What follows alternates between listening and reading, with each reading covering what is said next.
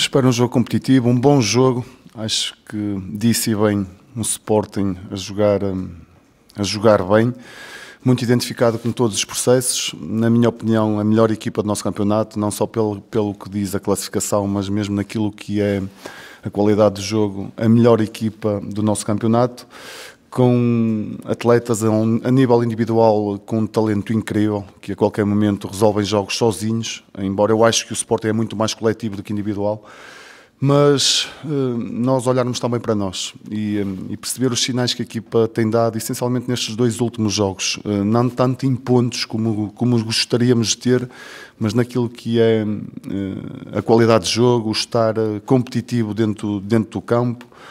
um, portanto, nós olharmos para nós, acreditarmos naquilo que estamos a fazer e, como eu disse bem, um, não, não queremos vitórias morais, precisamos de pontos um, e é assim que a gente se vai apresentar amanhã. A reconhecer que do outro lado há realmente um, uma grande equipa, mas nós acreditarmos em nós e acreditar genuinamente que é possível ganhar os três pontos amanhã.